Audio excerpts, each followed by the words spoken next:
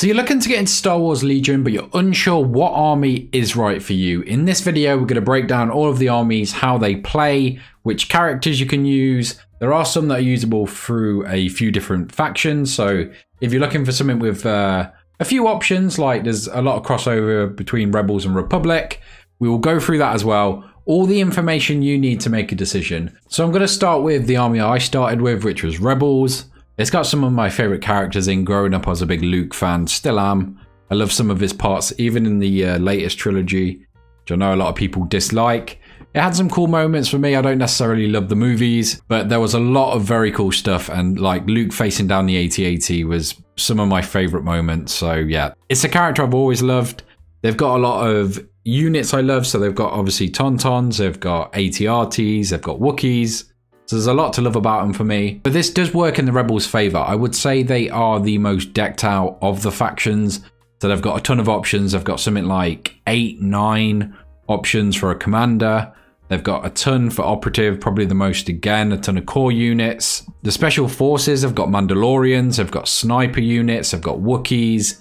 They've just got a plethora of options. So if you're looking for stuff where you can play a lot of games but play very, very different lists. I would say Rebels is the one to go for. Like I've already mentioned, you can get the AT-AT, you can get the Tauntauns, the swoop bike riders. There's even speeder trucks and air speeders, land speeders, so there are a ton of different options. I will say though, if you're into, you want like a massive tank or you want some really massive, impressive stuff on your side, Rebels don't really have that. You're going to have to look at something like Empire with the ATST or the droids have a massive tank. There's a saber tank for the Republic. So there are a ton of options outside of this. But if you're looking for uniqueness and a wide variety, then Rebels is probably the one to go for. I would also say if you're a fan of the movies and you prefer the good side, it's hard to look past Rebels. They've got Han, they've got Luke, they've got Chewie, Lando. All of those characters you saw in the movie are on the side of Rebels. There's Leia. More recently, we got Mando and Boba Fett, Ahsoka, K2SO and Cassian, Sabine Wren, R2D2, IG-11. There are so many characters. If you're fans of just Star Wars in general, if you prefer the good side, this is most likely going to have your favorite characters in. Now, for me, it actually doesn't. My favorite character is Anakin Skywalker, not Vader, I think. I prefer the grey Anakin where he's sort of pulled both ways. Vader is just sort of all one way and then the other. So I Anakin is my favorite character from Star Wars. However, I would say my next like four or five favorite characters are probably in Rebels. Maybe the odd one. I do love Palpatine in Empire and other stuff, but a lot of the big hitters, a lot of those names you know from the shows and movies are going to be in Rebels.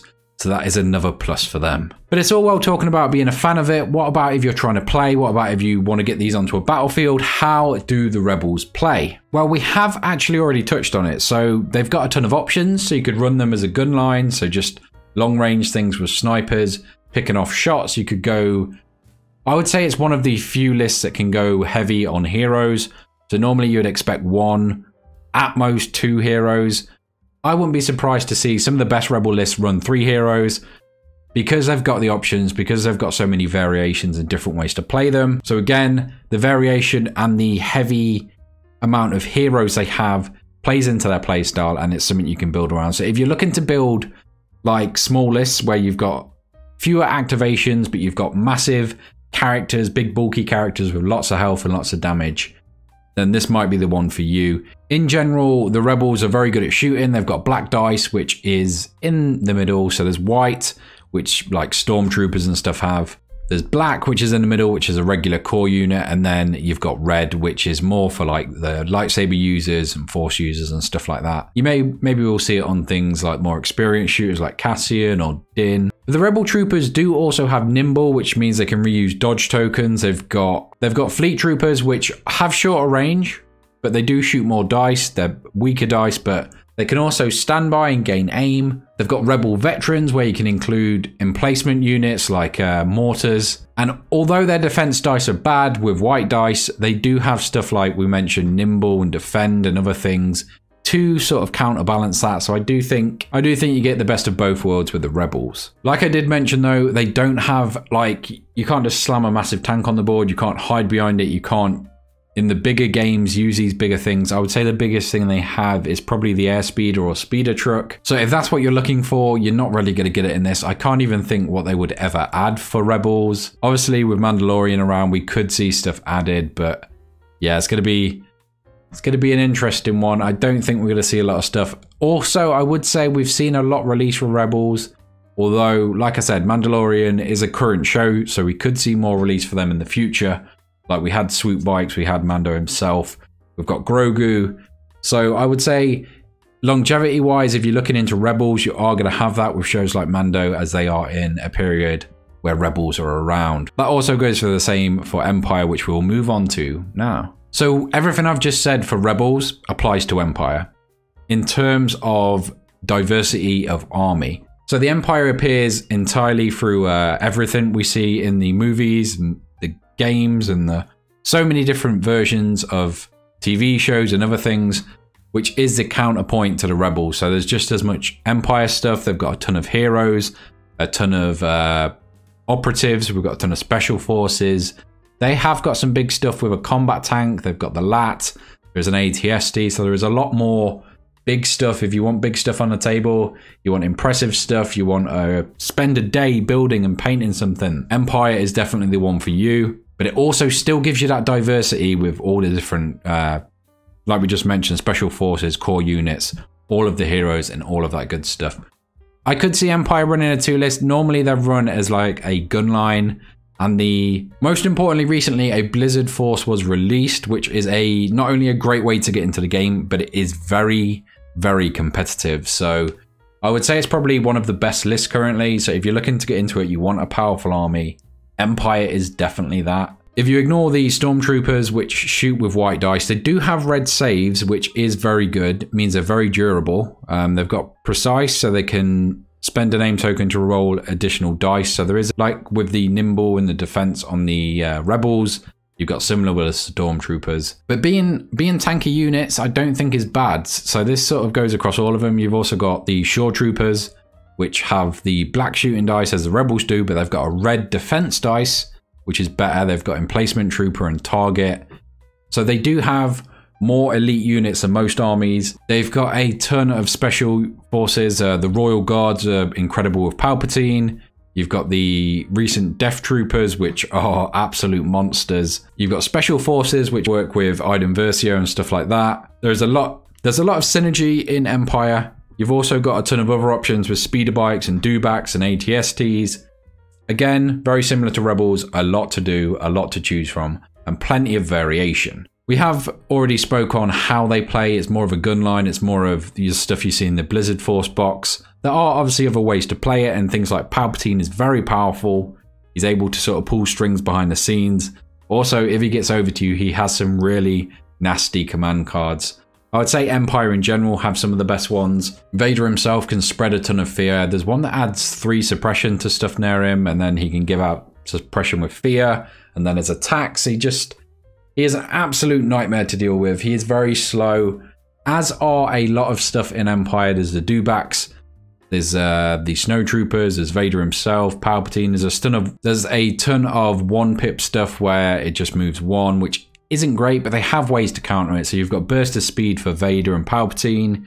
The dewback can, I think it takes suppression to up its speed. So there are ways around it. It's just just as a base, they are quite slow, but they've got a ton of stuff to counter that, so it's nothing to worry about. Rebels and Empire were released together, so they are sort of counter to each other. But let's move into Republic, probably my second favorite army, mainly because of uh, Anakin, but um, they've obviously got Yoda, they've got Chewie, they've got Obi Wan.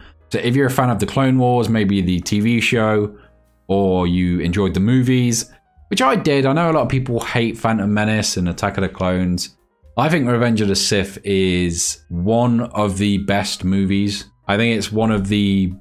It's probably my top three or top four, honestly. I like I said, Anakin's one of my favorite characters, and uh, yeah, it's just such a good movie. Really good fight scenes, and in general, yeah, just one of my favorite Star Wars movies. There is a ton of clone stuff, as you would expect. You've got Cody, you've got Rex, you've got you can get fives.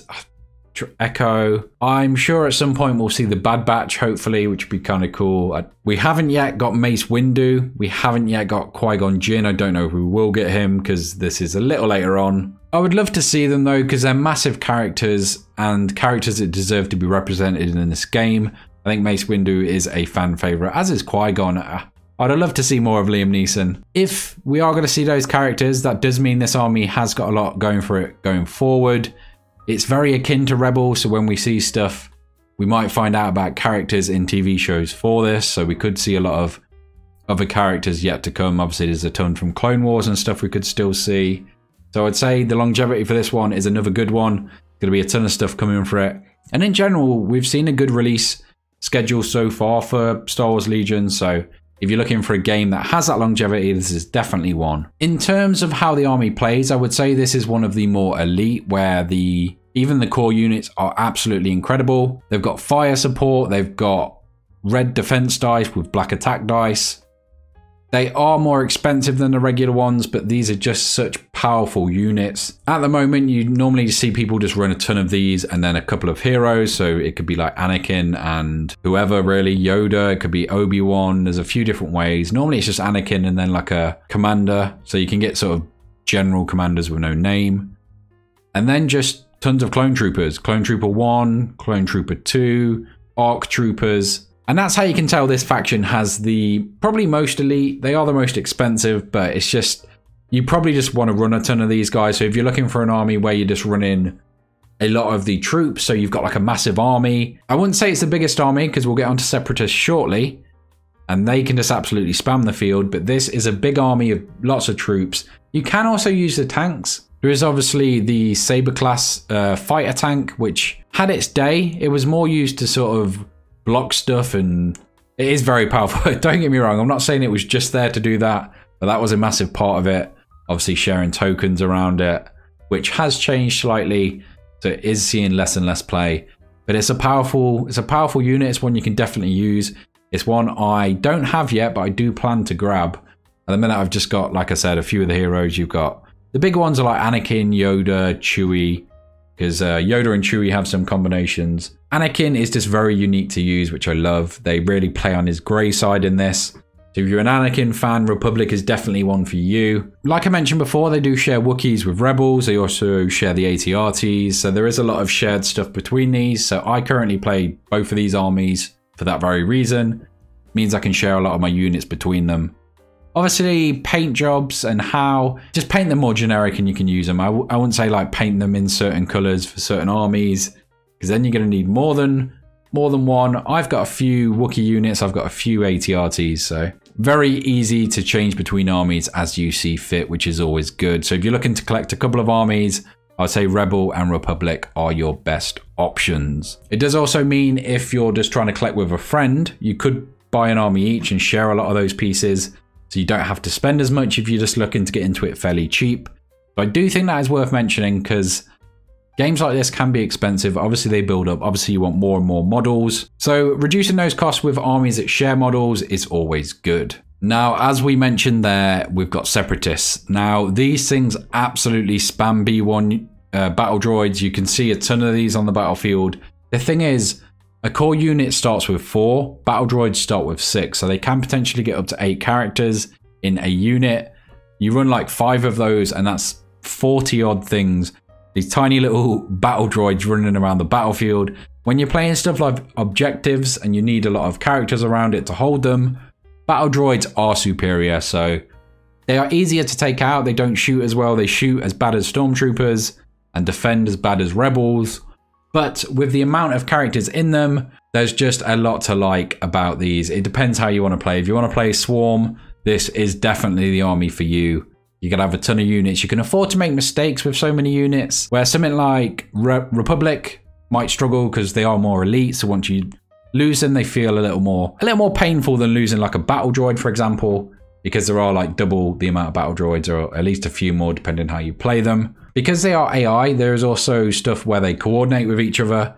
So if one gets a order issued to them, then you can pass it on to the next. There's AI where you can, well, you have to do certain things. You have to attack, for example, if able, which can dictate your play. You do need to play into that. You need to know positions.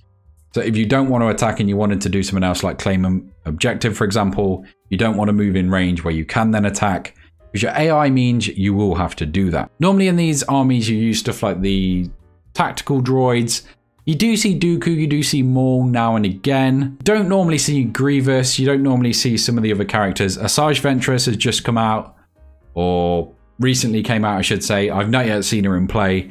Very excited to see her on the table. She looks super good, very cheap for a Force user. They do get access to Bossk and Cad Bane via the Mercenaries. They don't have a ton of units outside that. I mean, if they didn't have those, which only recently came in, they would have Maul as their operative.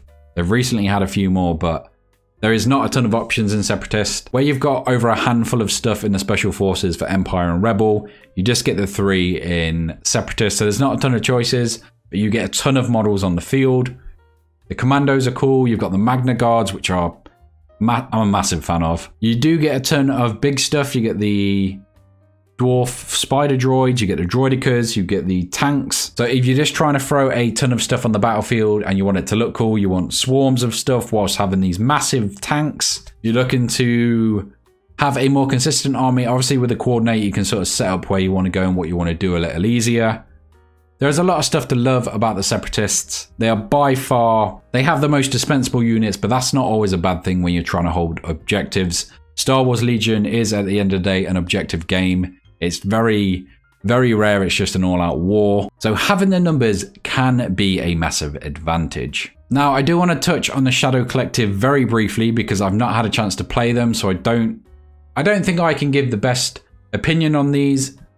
They are fairly new out. They've been out a little while now, but if anyone in the comments has played them, please drop in the comments, let people know coming onto this video what to expect. They don't have a ton of options. Like I say, they've not long been out. They've got three commanders. They've got a couple of core units. And then they've got like one of each for the heavy units and the special forces. So there's not a ton to choose from. They do share stuff. So they share the speeder truck with rebels. Also the swoop bike riders. And in general, their stuff is open up to everyone. So there's Sun Enforcers, the Pike Syndicate. So these can be used in different armies. So you could potentially collect this army and collect any other army, which is very tempting because the units in this are very powerful. The Pike Syndicates in general have some really cool long range options, so you can slide them into stuff like Rebels, you can put them in Empire. I think they can go in pretty much any army. The Black Sun Enforcers are slightly more restricted, but like I say, any units in this are usable in most things. So if you're looking for versatile things, things where you can buy them and use them in different armies, this is another great choice. You do also get a variant on Maul in this. In general, I think they've just got powerful units, which really help other armies. I think we'll need to see a lot more in Shadow Collective before it sort of takes over the game. But it's got some very powerful options and I can't wait to actually play against it. The problem is I play in quite a small group at the moment, so it's hard to outside of the armies we've got. We've got all but this, so it's uh, yeah, it's one that I do need to maybe hunt down so just so we can play against it. Maybe need to get out to some more tournaments and see a bit more of the competitive game. But that is my recap, my rundown, my wrap up of all of the factions in Star Wars Legion. Hopefully this video has been some help. If it has, drop in the comments below. If you need any advice or assistance in the comments, more than happy to help. Hopefully some people can help with the Shadow Collective or any comments. Maybe you think this was missed or maybe this should have been said instead. Let me know. That's all I've got for this episode though. So if you want to see any more tabletop stuff, miniatures, card games, make sure you subscribed and I will catch you in the next one.